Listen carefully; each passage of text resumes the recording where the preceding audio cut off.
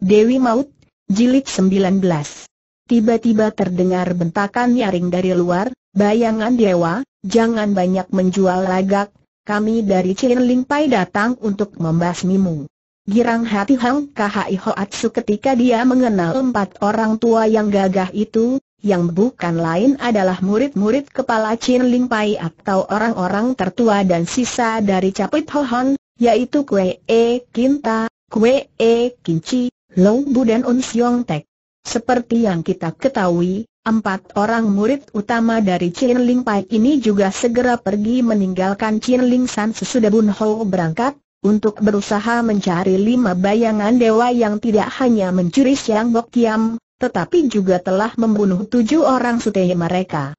Bila dibandingkan dengan Bun Ho yang baru saja pulang dari Tibet dan masih belum memiliki banyak pengalaman di dunia Kang Ou, tentu saja empat orang tokoh Chin Ling Pai ini jauh lebih luas pengalamannya dan kalau Bun Ho masih juga belum berhasil dalam penyelidikannya untuk menemukan musuh-musuh besar Chin Ling Pai, Empat orang tokoh ini akhirnya dapat juga mencari musuh-musuhnya. Ketika mereka mendengar keterangan dalam penyelidikan mereka bahwa empat orang di antara lima bayangan dewa itu pergi ke Sin Yang, mereka menjadi terkejut dan cepat melakukan pengejaran. Mereka merasa sangat khawatir kalau-kalau para musuh besar ini hendak mengganggu putri suhu mereka, yaitu Chia Giokeng yang tinggal di Sin yang bersama suaminya dan kedua orang anaknya. Dalam kesibukan mereka mencari dan menyelidiki musuh-musuh besar Chin Ling Pai, empat orang ini sama sekali tidak tahu atau mendengar peristiwa yang menimpa keluarga suhu mereka. Demikianlah, mereka sampai di rumah Giok tepat pada saat Hang Kahai Hoatsu dan Li Seng terancam bahaya oleh empat orang dari lima bayangan dewa itu. Ketika mereka muncul dengan pedang di tangan, Pat Pelosian terkejut dan marah. Dia memandang empat orang laki-laki tua yang berpedang dan berpakaian sederhana itu, lalu membentak, siapakah kalian? Pat Pelosian belum pernah bertemu dengan empat orang tertua dari Capit Hohon ini maka biarpun tadi mereka mengaku sebagai orang-orang dari Chin Ling Pai, dia masih tak dapat menduga siapa mereka. Di lain pihak, Kue E, Kinta dan tiga orang sutenya juga baru sekarang bertemu dengan mereka, maka Kue E, Kinta yang mewakili para sutenya menjawab tenang dengan sikap gagah, lebih dahulu kami ingin bertanya, apakah benar kalian empat orang yang sedang mengacau di sini berjuluk lima bayangan dewa? Pat Pelosian tersenyum lebar, wajahnya yang gagah dan tampan itu penuh ejekan dan memandang rendah. Kalau benar demikian, kalian mau apa? Siapakah kalian? Kami adalah empat orang pertama dari Capit Hohon dan memang sudah lama kami mencari kalian manusia-manusia keji yang telah membunuh para sute kami, jawab Kue E Kinta sambil melintangkan pedangnya di depan dada. Ah! Hahaha, bagus sekali. Dahulu kami hanya dapat membunuh tujuh orang di antara Capit Hohon, siapa tahu kini empat yang lainnya datang mengantar nyawa untuk menemani kakek tua bangka tukang sulap ini. Jahanam, bersiaplah kalian untuk mampus kue E Kinta membentak lantas pedangnya digerakkan, berubah menjadi sinar kilat yang menyambar ke arah Pet Pilosian. Ketiga orang sutenya juga sudah menggerakkan pedang menyerang tiga orang bayangan dewa lainnya. Pat Pelosian terkejut bukan kepalang menyaksikan gerakan pedang yang dipegang oleh Kue E Kinta itu. Gerakannya mantap dan mengandung tenaga yang dahsyat sekali. Dan memang Kue E Kinta sebagai murid pertama dari Chin Ling Pai tentu saja memiliki ilmu pedang yang amat hebat. Dialah yang mampu mewarisi inti dari ilmu pedang Siang Bok Kiam Sut yang diciptakan oleh ketua Chin Ling Pai. Akan tetapi, Pat Pelosian Fang Tuilok adalah sute dari mendiang Bantok Choa Ong Ou yang kok si Raja Ular, kepandaiannya amat tinggi. Cepat dia dapat mengelak sambil mencabut pedangnya pula, yaitu sebatang pedang yang bentuknya seperti seekor ular dan mengeluarkan bau amis. Kering, terang, sing. Hem Pat Pelosian terkejut karena ketika pedang mereka saling bertemu, secara aneh sekali pedang lawan itu meluncur melewat tubuh pedangnya, Begitu licin dan tidak terduga-duga langsung menyambar ke arah tangannya yang memegang gagang pedang ular. Untung dia dapat cepat menarik tangannya dan menghindarkan diri dari serangan yang cepat, aneh dan tak tersangka-sangka itu. Tiga orang sute dari Kue E Kinta juga sudah terlibat dalam pertandingan yang seru dan mati-matian melawan tiga orang dari bayangan dewa. Sesungguhnya apabila dinilai dari dasar ilmu silat mereka, kepandaian tiga orang tokoh Chin Ling Pai itu lebih murni, karena mereka itu adalah orang-orang yang langsung digembleng oleh pendekar sakti Chia Keng Hang ketua Chin Ling Pai. Akan tetapi, mereka itu dahulunya hanyalah pemuda-pemuda dusun yang kaku dan tidak berbakat, dan mereka pun amat jarang bertanding sehingga dalam pertandingan melawan tokoh-tokoh sesat yang sangat lihai dan yang pada dasarnya memiliki tingkat yang lebih tinggi daripada mereka, empat orang tokoh Chin Ling Pai ini segera terdesak hebat karena lawan-lawan mereka menggunakan siasat-siasat licik dan curang yang memang terdapat di dalam setiap gerakan ilmu berkelahi dari kaum sesat. Tiba-tiba saja terdengar suara tertawa nyaring tinggi, disusul suara nyanyian yang keluar dari mulut Hang Khi Hoatsu.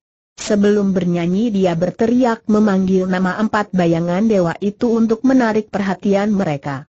Dengan suara parau dia bernyanyi dengan nada aneh dan dengan kata-kata yang jelas, dan tanpa disadari oleh empat orang bayangan dewa itu, mereka tercengkeram oleh kekuatan mukjizat dan telah terpengaruh sehingga mereka berempat mendengarkan dengan penuh perhatian.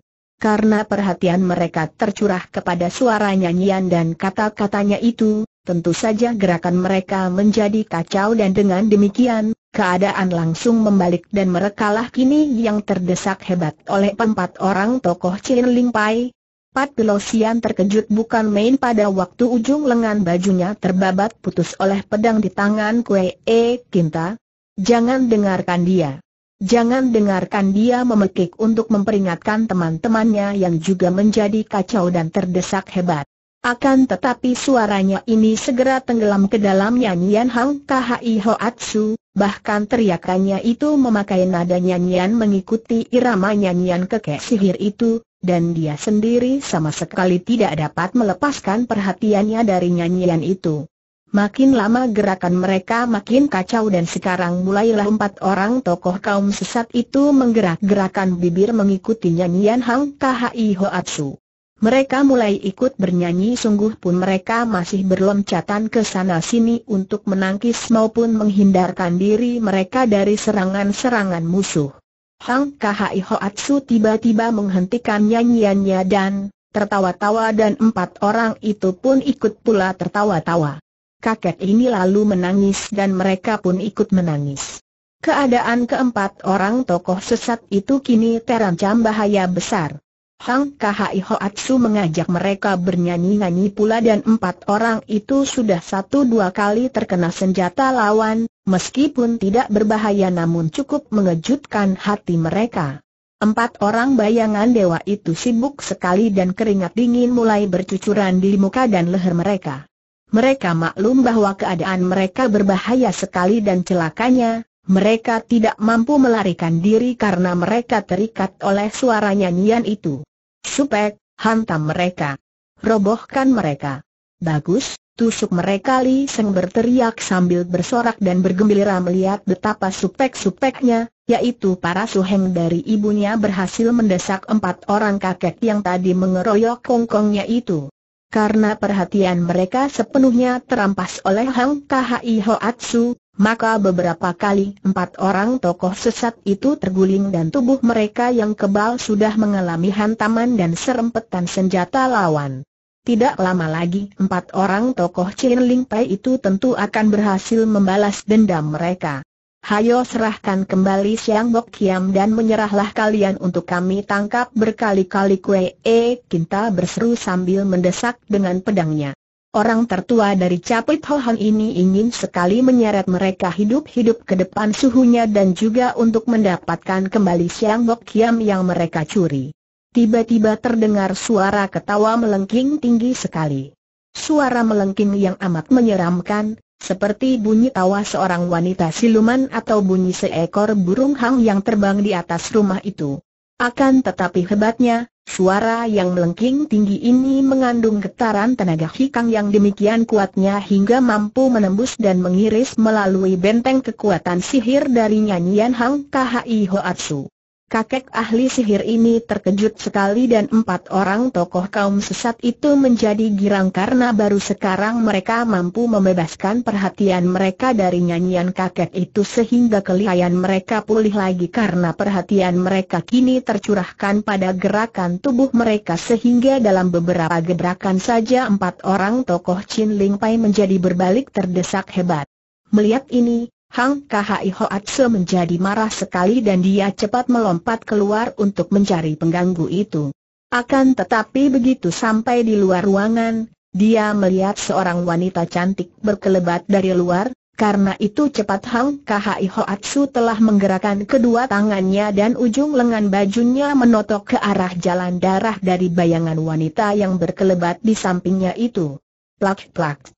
Ujung lengan baju itu dengan tepat mengenai pundak dan pinggang, tepat mengenai jalan darah, akan tetapi anehnya, wanita itu sama sekali tidak menderita apa-apa seolah-olah totokan itu hanya merupakan sentuhan-sentuhan halus saja, bahkan dia lalu tertawa dan tanpa menghentikan langkahnya yang menuju ke ruangan pertempuran, tangan kirinya berkelebat ke arah punggung Hang Khi Hoatsu. Plak! Ah! Hang Khai Hoatsu terkejut bukan kepalang karena tamparan halus itu membuat seluruh tubuhnya terasa kejang, lalu panas seperti dibakar dan tak dapat dipertahankannya lagi, kakek ini roboh terguling dalam keadaan pingsan.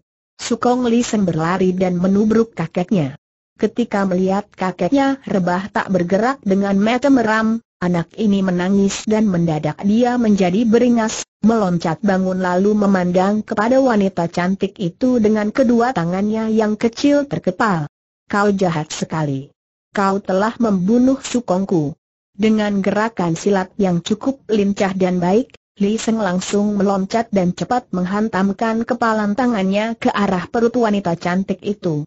Walaupun usianya baru 12 tahun, akan tetapi sejak kecil sekali anak ini telah digembleng oleh ayah bundanya sehingga dia telah memiliki dasar latihan ilmu silat yang murni dan tinggi, maka pukulannya pun bukan sembarangan dan teratur. Melihat kelincahan ini, wanita cantik itu memandang kagum. Bagus katanya dan dengan mudah saja dia menangkap pergelangan tangan Li Seng yang memukulnya. Sebelum Li Seng sempat menggerakkan tangannya yang kedua, wanita cantik itu sudah menepuk tengkuknya dan anak ini roboh pula dengan seluruh tubuh lemas dan lumpuh. Wanita cantik itu menoleh dan menonton pertempuran yang masih berlangsung dengan mati-matian itu sambil tersenyum mengejek. Sekarang jelas tampak bahwa pertandingan itu berlangsung berat sebelah. Betapapun gagahnya empat orang tokoh Chin Ling Pai itu, mereka bukan tandingan empat bayangan dewa yang kepandaiannya jauh lebih tinggi. Terutama sekali Petulosian Fang Tuilok yang sangat liai, dengan mudah saja dia dapat mendesak Kue E Kinta sehingga orang tua yang dahulu menjadi murid pertama kali ketua Chin Ling Pai ini hanya mampu mempertahankan diri sambil mundur, gerakan pedangnya makin menyempit. Adik murid pertama Chin Ling Pai ini, yaitu Kue E Kinci yang mainkan pedangnya dengan pengerahan seluruh tenaga dan kepandaiannya, juga kewalahan menghadapi Liok Tesin Moguloyet yang menggunakan kedua ujung lengan bajunya sebagai senjata. Biarpun hanya ujung lengan baju, akan tetapi karena digerakkan dengan tenaga sintang, maka kadang-kadang dapat menjadi lemas dan kadang-kadang menjadi kaku, dan di sebelah lipatan dalam dari kedua ujung lengan baju itu dipasangi potongan-potongan baja, maka sepasang lengan baju itu merupakan senjata yang ampuh. Lo Bu, murid ketiga dari Chen Ling Pai, juga amat kerepotan dalam menghadapi Sin Chiang Xiao bin Sian Hok Ho Siang yang mempergunakan senjatanya berupa tasbih hijau.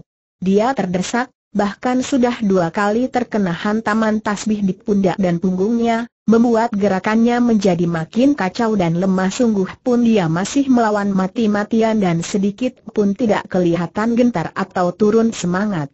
Un Siong Tek sudah hampir roboh karena berkali-kali terkena sambaran pecut baja di tangan Toat Bengkau Busit.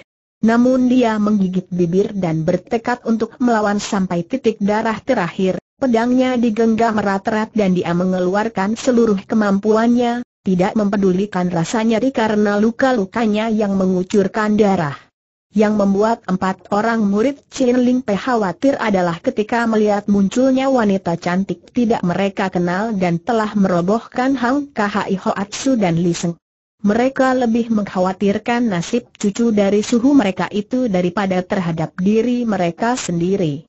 Hal ini membuat mereka melawan dengan nekat sehingga masih mampu bertahan sampai puluhan jurus. Namun akhirnya, Berturut-turut keempat orang gagah dari Chin Ling Pai ini roboh juga dan lawan-lawan mereka tanpa banyak cakap lagi menyusul dengan pukulan-pukulan maut sehingga menggeletaklah empat orang murid utama Chin Ling Pai itu tanpa nyawa lagi di dalam ruangan rumah itu. Pat Pilosian Fang Tuilok teringat akan olah kakek ini yang tadi hampir saja membuat dia beserta tiga orang temannya celaka, maka tiba-tiba dia berseru keras, Pedang ular di tangannya terbang secepat kilat dan tahu-tahu telah menancap di dada tubuh Hang Kahai Hoatsu yang masih pingsan. Tentu saja kakek tua ini tewas seketika tanpa sadar lagi. Wanita itu memandang semua kejadian itu tanpa bergerak, hanya tersenyum mengejek sambil memandang Pet Pilosian mencabut kembali pedang ularnya dari tubuh Hang Kahai Hoatsu yang mandi darah. Akan tetapi ketika Pet Pilosian menghampiri tubuh Li Seng dan mengulurkan tangannya hendak menyambar tubuh anak itu, tiba-tiba saja wanita itu menggerakkan tangan kirinya, dan serangkum hawa pukulan dahsyat menyambar ke arah Pet Pilosian. Orang pertama dari lima bayangan dewa ini terkejut sekali, mengelak akan tetapi tetap saja dia terdorong oleh hawa pukulan dahsyat itu dan merasa betapa dadanya panas. Dia cepat mengerahkan sinkang untuk melawan dan sesudah dia mengatur pernapasan baru serangan hawa panas itu menghilang.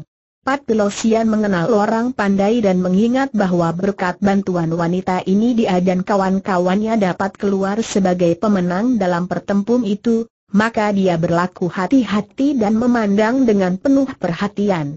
Ketika dia menatap wajah yang cantik jelita dan tubuh yang ramping padat itu, dia merasa tidak pernah bertemu dan tidak mengenal wanita yang usianya kurang lebih 35 tahun ini. Akan tetapi ketika dia melihat burung hang kumala yang menjadi penghias rambut wanita itu, dia pun menjadi terkejut sekali.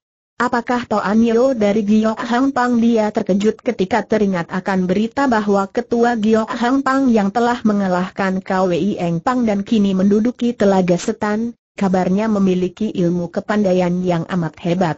Sementara itu, Toat Beng Kau yang sudah pernah bertemu dengan In Hang dan merasakan kelihayan darah cantik itu, juga terkejut sekali karena dia mengira bahwa tentu kedatangan wanita cantik ini ada hubungannya dengan peristiwa yang terjadi antara dia dan In Hang, yang agaknya adalah murid wanita ini. Karena itu dia cepat-cepat menjura kepada wanita itu dan berkata, Toan Yo tentulah ketua Giok Hang Pang yang tersohor itu. Apabila benar demikian, kita bukanlah orang-orang lain. Saya pernah berjumpa dengan Non Ayah Pin Hang, Bukankah dia juga seorang tokoh Giok Hang Pang?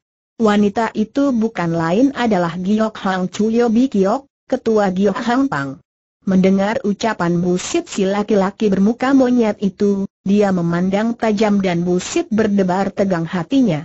Pandang mata wanita ini demikian tajam dan dingin, jauh lebih dingin dari pandang mata Nona In Hang yang amat lihai itu. Hem, Yapin Hang adalah muridku. Pat Pelosian Fang Tuilok terkejut mendengar ini. Tidak keliru dugaannya, karena dia pun sudah mendengar laporan busit tentang Nona Yap Pin Hong. Cepat dia pun menjura dan berkata, ahaha, maafkan kami yang tidak mengenal Toan Yo yang ternyata masih amat muda akan tetapi telah memiliki kepandaian yang amat hebat. Kami berterima kasih atas bantuan Toan Yo tadi.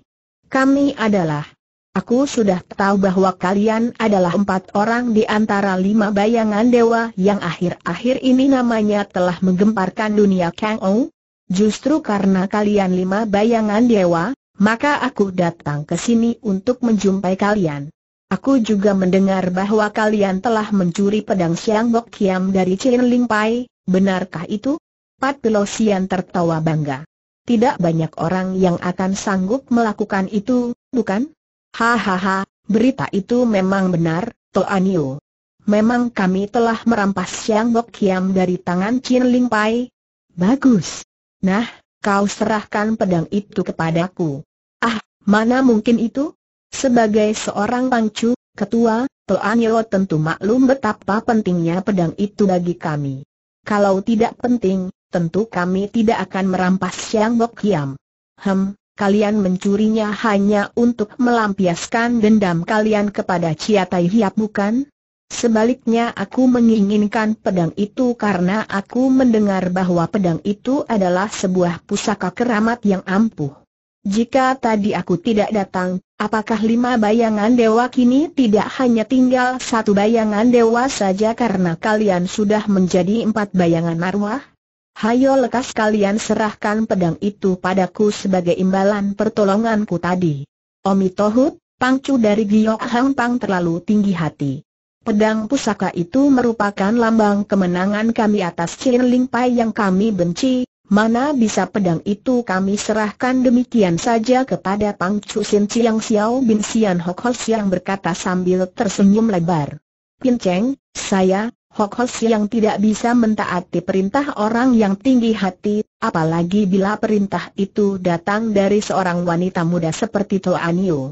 Yobi Kiok tersenyum, matanya yang berbentuk indah itu bersinar-sinar, lalu terdengar dia berkata lirih, agaknya kalian masih memandang rendah kepadaku. Nah, rasakanlah ini. Setelah berkata demikian, tangan kirinya bergerak ke arah Hwasyo gendut itu. Serangkum hawa pukulan yang dingin sekali menyambar, membuat Hok Hos yang kaget setengah mati dan dia cepat menggerakkan tasbih hijau di tangannya untuk menangkis. Riik, ges! Hok Hos yang berteriak kaget, tubuhnya terhuyung ke belakang beberapa langkah.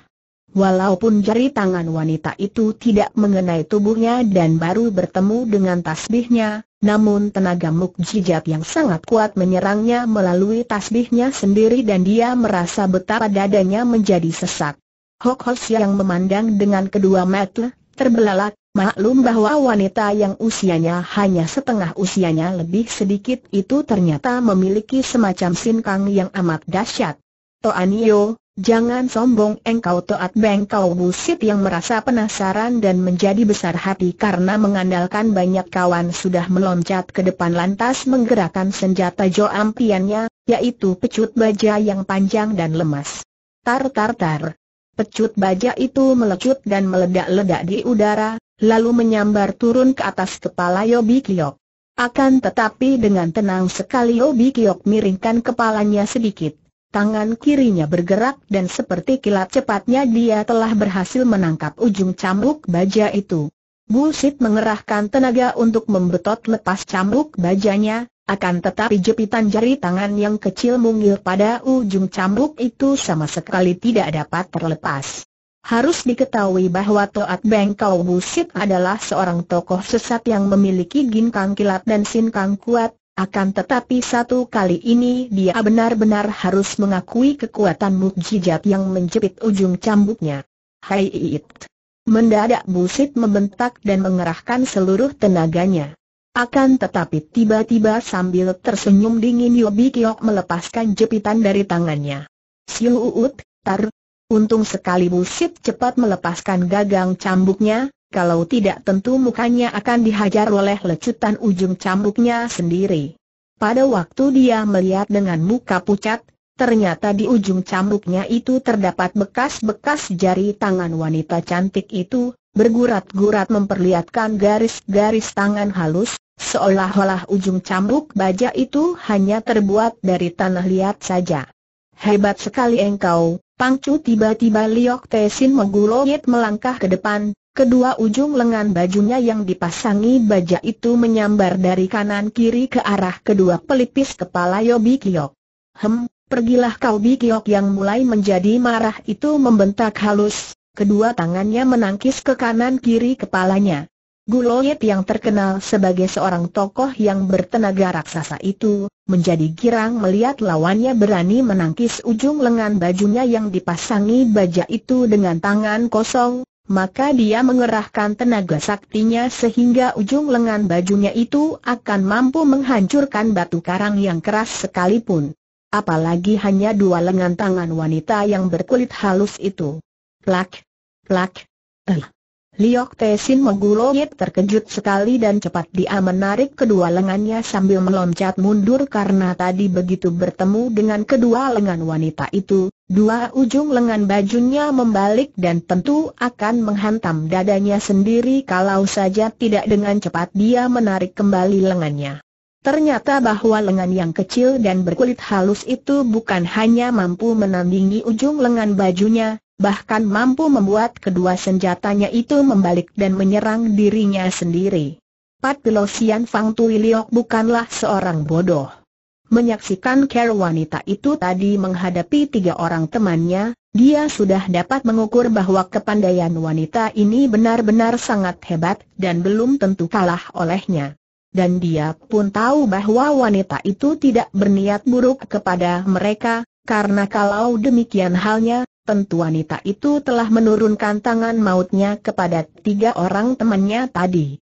Maka dia cepat menjura sambil berkata, Ternyata bukan berita kosong belaka yang mengatakan bahwa ketua Giok Hang Pang memang memiliki kepandaian yang amat hebat. Pangcu, kami merasa kagum sekali dan mengingat akan kebaikan Pangcu yang telah membantu kami tadi, Agaknya untuk urusan sebatang pedang kayu saja seyogianya kami mengalah dan mempersembahkan kepada Pangcu sebagai tanda persahabatan. Akan tetapi sayangnya hal itu tidak mungkin kami lakukan sekarang karena kami tidak membawa Siang Bok Kiam itu yang kami simpan di tempat rahasia agar tidak mudah dicari orang lain. Hem, Yobi Kiok mendengus kecewa, akan tetapi matanya memandang kepada mereka dan dia tahu bahwa mereka tidak berbohong. Lalu dia melihat tubuh anak laki-laki yang masih lemas tertotok olehnya tadi. Tadi aku melihat kalian hendak merampas dan menculik anak ini. Mengapa? Pat Pelosian juga memandang kepada Li Seng kemudian tersenyum. Pangcu, urusan dengan bocah ini adalah urusan kami pribadi, perlukah Pangcu mengetahui pula? Wajah yang cantik itu menjadi agak kemerahan meskipun pandang matanya tetap dingin tak acuh. Tentu saja. Perkelahian di sini adalah karena bocah ini, dan aku telah membantu kalian maka sudah sepantasnya kalau aku mendengar pula mengapa kalian hendak menangkap bocah ini. Pat Pelosian diam-diam merasa mendongkol sekali. Sebenarnya, walaupun tiga orang temannya jelas bukan lawan wanita ini, akan tetapi dia sendiri belum tentu kalah apalagi kalau dibantu oleh tiga orang temannya itu. Hanya saja, pada waktu ini lima bayangan dewa sedang menghadapi ancaman pembalasan dari pihak Chin Ling Pai yang merupakan hal berbahaya karena dia pun maklum akan kelihayan dari ketua Chin Ling Pai, maka tidak semestinya bila dia menanam bibit permusuhan dengan pihak lain. Apalagi dengan pihak Giok Hang Pang yang amat kuat pula. Sebaliknya, dia harus menarik semua pihak, terutama yang kuat, sebagai sahabatnya agar dapat membantunya apabila kelak dia terpaksa menghadapi ketua Chin Ling Pai. Dia jari menghadapi ketua Chin Ling Pai seorang diri bersama keempat orang temannya saja. Baru murid-murid Chin Ling Pai tadi saja sudah sedemikian tangguhnya, apalagi gurunya. Dan wanita cantik ini pun memiliki ilmu kepandaian yang mengerikan. Baiklah, Pangcu, kalau engkau ingin tahu. Bocah ini adalah cucu dari ketua Chin Ling Pai, dan kami hendak menangkapnya. Hem, apakah lima bayangan dewa begitu penakut, tidak berani menghadapi ketua Chin Ling Pai secara langsung melainkan mengganggu seorang bocah yang tidak tahu apa pun Obi Kiok mengejek. Sungguh pun wanita ini dahulunya murid seorang datuk kaum sesat kemudian dia sendiri karena merasa sakit hati terhadap seorang laki-laki lalu menjadi seorang wanita berdarah dingin yang amat kejam, akan tetapi dia sama sekali bukanlah golongan sesat yang suka melakukan kejahatan umum. Satu-satunya sikap kejamnya hanya dia tujukan pada kaum pria yang dianggapnya merupakan kaum yang hanya membuat sengsara kaum wanita. Sekarang wajah orang pertama dari lima bayangan dewa itu menjadi merah dan kedua matanya terbelalak dipenuhi rasa penasaran. Pangcu dari Giok Hang Pang, Kau anggap kami ini orang-orang apa yang hendak mengganggu anak-anak teriaknya, akan tetapi segera dia teringat akan sikapnya. Kami memang bermusuhan dengan Ketua Chin Ling Pai dan mengingat bahwa Ketua Chin Ling Pai memiliki banyak sekali sahabat dan pembantu-pembantu yang tentu akan menyusahkan kami, maka kami hendak membawa cucunya ini sebagai sandera untuk menantangnya supaya datang menghadapi kami seorang diri saja, agar di antara dia dan kami dapat menyelesaikan segala perhitungan lama sampai beres. Jadi kami tidak akan mengganggu anak ini, hanya untuk memaksa kakeknya untuk keluar sendirian menghadapi kami. Yobi Kiok tersenyum, lalu tubuhnya bergerak, cepatnya amat mengejutkan hati empat orang itu karena tahu-tahu bayangan wanita itu berkelebat dan sebelum mereka sempat mencegah, Bikiok telah mengempit tubuh Li Seng.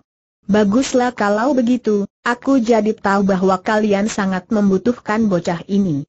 Nah, kalian ambillah Sing Bok Kiam, antarkan pedang itu ke telaga KWIO dan di sana aku akan menukar Siang Bok Kiam dengan bocah ini sesudah berkata demikian, dengan sekali berkelebat saja Bikiok sudah lenyap dari dalam ruangan itu, pergi membawa Li Seng bersamanya. Empat orang tokoh sesat itu saling pandang dan muka mereka berubah, sebentar merah sebentar pucat. Baru kali ini mereka merasa dihina dan dipandang rendah orang lain, apalagi yang memandang rendah mereka itu adalah seorang wanita muda cantik. Si keparat Pet Pilosian membanting kakinya. Kalau saja tidak ingat akan keadaan kita, sudah kuhancurkan kepala perempuan setan itu. Dia memang sombong sekali, kata Busit yang juga merasa penasaran dan tadi sudah dibikin malu. Tuaku, mari kita kumpulkan kekuatan, ajak teman-teman untuk menyerbu Giok Hang Pang, membasminya dan merampas kembali bocah itu. Pat Pelosian menggelengkan kepala sambil menghela napas panjang. Betapapun juga, urusan dengan dia itu kecil sekali artinya kalau dibandingkan dengan urusan kita terhadap ketua Chin Ling Pai. Tidak boleh melemahkan keadaan sendiri karena urusan kecil sebelum urusan besar selesai kelak masih belum terlambat bagi kita untuk menghajar perempuan sombong itu. Habis, apa yang akan kau lakukan? Tua kotanya pula Liok Tesin mengguloyet kepada temannya yang tertua itu. Tidak ada jalan lain, sementara kita harus menyerahkan pedang itu kepadanya sebagai penukar cucu ketua Chin Ling Pai itu, jawab yang ditanya. Ah, akan tetapi hal itu akan merupakan tamparan bagi nama kita Hok Hos yang berseru. Sam T, adik ketiga, jangan salah hitung, justru sebaliknya malah, dengan mengoperkan pedang kayu yang tidak ada gunanya kepada wanita itu, berarti kita menambah musuh bagi Chia Keng Hang dan menarik teman bagi pihak kita.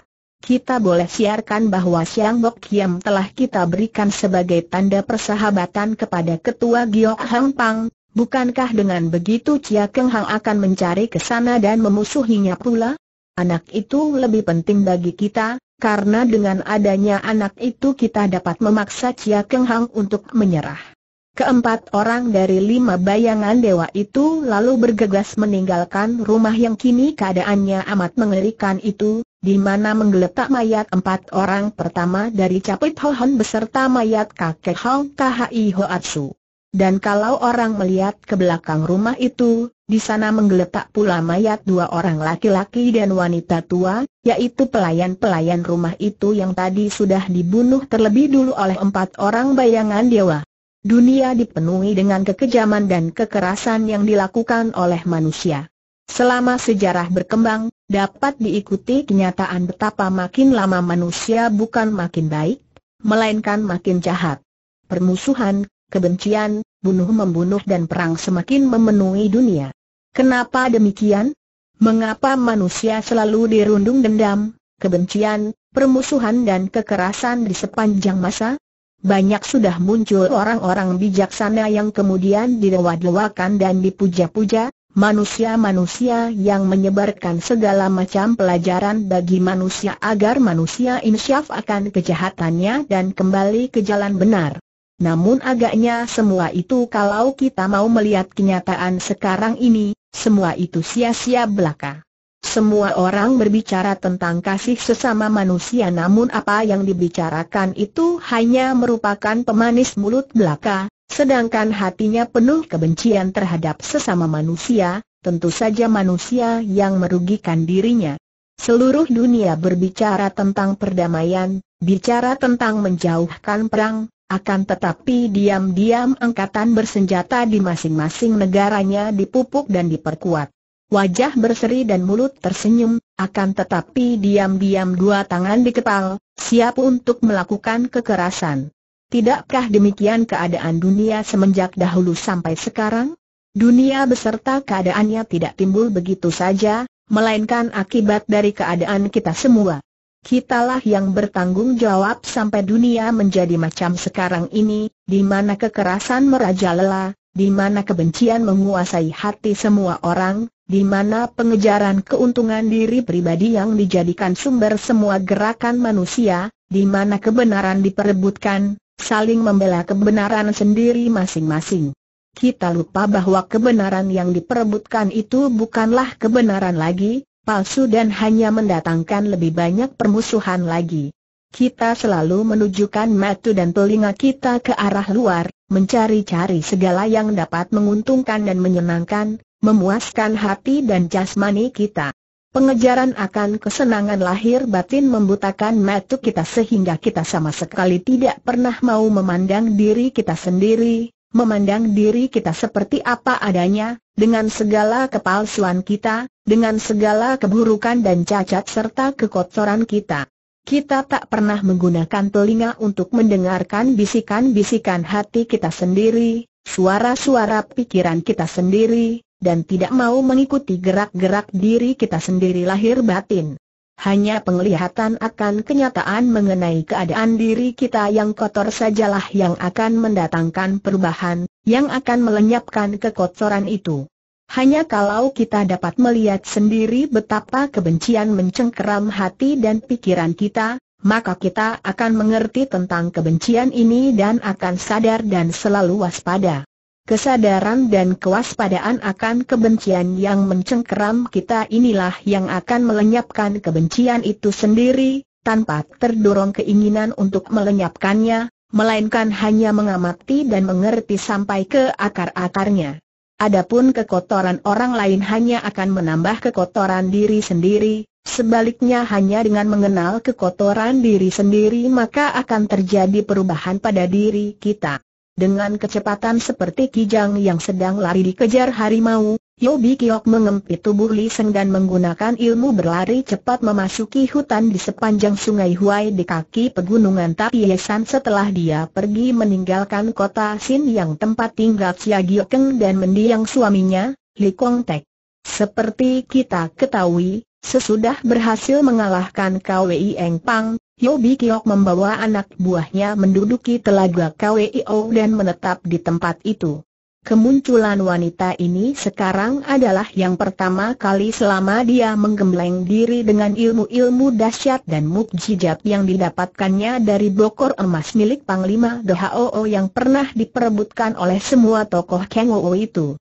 Yobi Kiok sudah mendengar pula tentang peristiwa yang melanda Chin Ling Pai, tentang lima bayangan dewa yang telah mengacau Chin Ling Pai, maka timbul keinginan hatinya untuk memiliki pedang Siang Bok Kiam itu yang dia pernah mendengar adalah sebatang pedang kayu harum yang keramat dan merupakan pusaka yang pernah pula menjadi pusaka yang diperebutkan oleh seluruh tokoh dunia Kang Ou.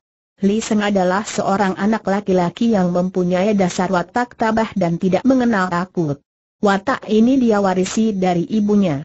Dia melihat sendiri tadi betapa kakeknya tewas, juga empat orang tua yang dia ingat merupakan murid-murid utama kongkongnya di Ling Pai itu pun tewas. Tentu saja dia merasa ngeri dan berduka sekali, dan dia pun tahu bahwa dia kini terjatuh ke tangan seorang wanita yang jahat dan kejam seperti iblis. Akan tetapi dia tidak merasa takut, dan selalu dia memutar otaknya untuk mencari akal bagaimana Carolia akan dapat membebaskan dirinya dari wanita ini dan kalau mungkin membalas kematian kakeknya yang demikian menyedihkan.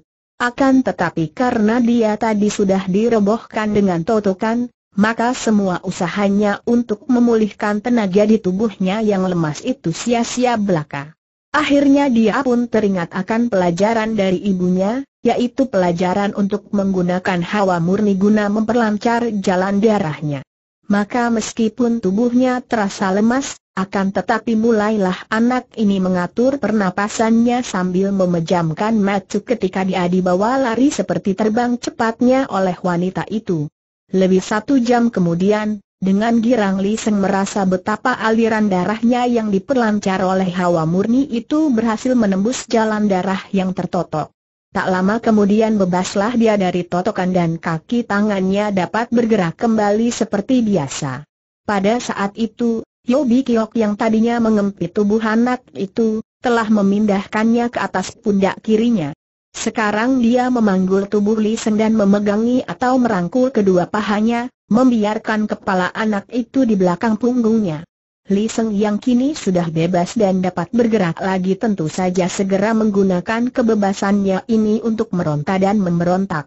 Dia meronta, mengangkat kepalanya dan mempergunakan kedua tangan menjambak rambut yang digelung indah itu, lalu dia membuka mulut menggigit leher yang berkulit putih halus itu, digigitnya sekuat tenaga.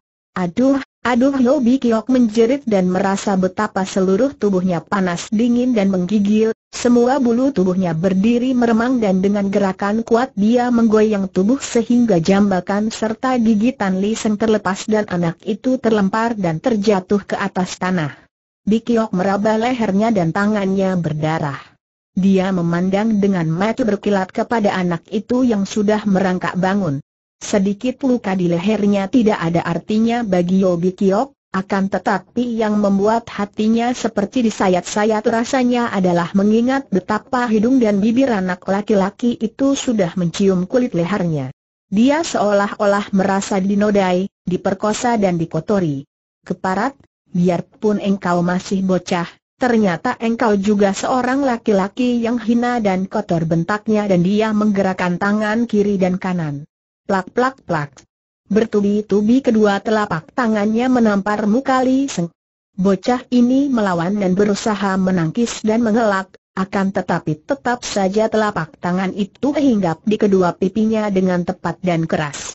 Tentu saja Bikiok tidak mempergunakan tenaga sintang, karena kalau demikian halnya, ditampar satu kali saja sudah cukup untuk membuat hancur kepala bocah itu. Dia hanya mempergunakan tenaga kasar biasa saja, akan tetapi justru ini malah lebih menyiksa bagi Li Seng karena mukanya kini menjadi bengkak-bengkak dan matang biru. Kedua pipinya menjadi bengkak sehingga hampir menutupi matanya. Bocah itu akhirnya roboh terguling. Matanya dikejap-kejapkan karena pandang matanya berkunang dan melihat ribuan bintang menari-nari, Kepalanya amat pening dan telinganya mendengar suara berdengung. Mukanya terasa seperti dibakar, panas dan nyeri. Walaupun sudah menampari muka anak itu, Dikio masih belum ada kemarahannya.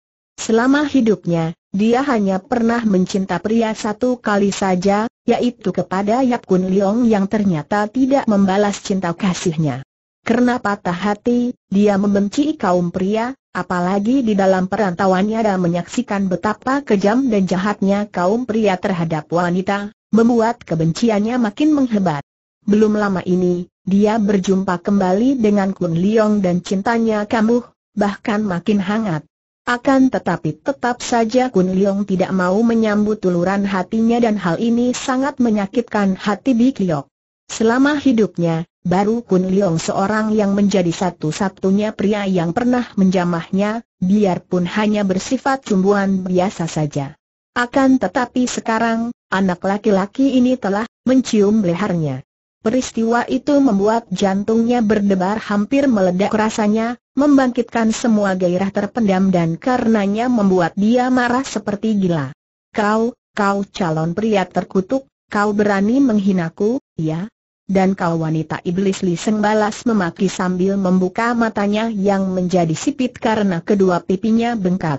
Sedikit pun dia tidak merasa takut dan sungguh pun kepalanya seperti berputar rasanya, serta mukanya nyeri sekali seperti akan pecah, dia tidak sudi mengeluh di depan wanita penyiksanya ini.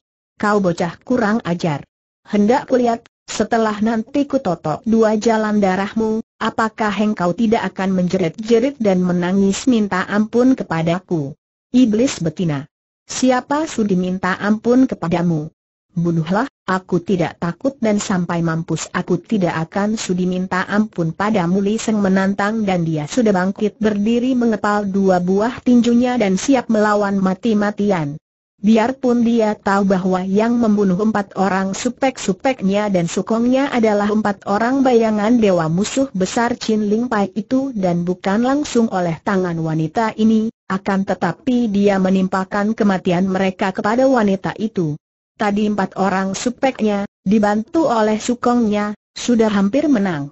Kemudian wanita inilah yang merubah keadaan hingga mengakibatkan kekalahan dan kematian lima orang itu, maka bagi dia, yang membunuh mereka adalah wanita inilah. Bocah laknat. Kalau tidak ingin menukarmu dengan Siang Bok Kiam, sudah kubunuh kau. Akan tetapi, dengan keberanian luar biasa Li Seng sudah meloncat ke depan kemudian menyerang dengan sekuat tenaga. Menghadapi pukulan-pukulan anak ini, tentu saja Yobi Kiok tidak mau memandang sebelah mata dan dia mengerahkan perut dan dadanya yang terpukul itu dengan diisi tenaga sinkang dengan maksud untuk membuat sepasang kepalan tangan itu patah-patah tulangnya. Plak! Buk! Dua kali pukulan anak itu mengenai perut dan ulu hati Bikiok dan wanita ini berteriak kaget. Air! Dia terhuyung ke belakang, mukanya pucat bukan main dan matanya terbelalak.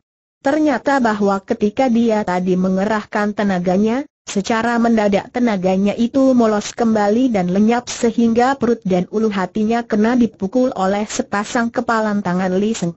Tidak hebat sekali, akan tetapi tentu saja cukup terasa olehnya. Yang membuat dia heran adalah mengapa tenaganya tiba-tiba menjadi lenyap. Akan kubunuh kau Li Seng yang girang melihat pukulannya berhasil itu lalu meloncat dan menyerang lagi. Biarpun usianya baru 12 tahun, akan tetapi tingginya sudah hampir sama dengan Bikiok, setinggi leher wanita itu. Maka kini kedua tangannya dengan jari-jari terbuka menampar ke arah leher dan pipi. Kembali Bikiok hendak menerima tamparan itu dan sekaligus menyampok pergelangan tangan Li Seng agar patah tulangnya. Plak! Plak! Aih! Kembali Bikiok terkena tamparan sampai pipi dan lehernya terasa pedas. Dia terbelalak dan cepat memandang ke kanan kiri dengan muka pucat sekali. Kembali dia tidak berhasil mengerahkan sintang, Bahkan hebatnya, pada waktu dia menggerakkan tangan hendak mematahkan pergelangan tangan Li Seng, secara tiba-tiba saja tangannya tidak dapat digerakkan dan dia merasa ada hawa menyambar dari kiri. Keparat dia berteriak keras dan cepat membalikan tubuhnya ke kiri akan tetapi tidak ada orang di situ. Li Seng sudah menyeruduk maju lagi, sekarang anak itu menggunakan kepalanya untuk menyeruduk perut lawannya. Bikiok yang masih kebingungan itu melihat serangan ini, menjadi marah dan ingin menyambut dengan hantaman maut. Maka, sesudah Li Seng menyeruduk dekat, dia hendak menggerakkan tangan menghantam. Akan tetapi dari belakang dia merasa ada hawa aneh menyambar, dan, dua tangannya sama sekali tidak dapat dia gerakan. Sementara itu, kepala anak itu sudah menyentuh perutnya. Dia mengerahkan sinkang untuk menghancurkan kepala anak itu.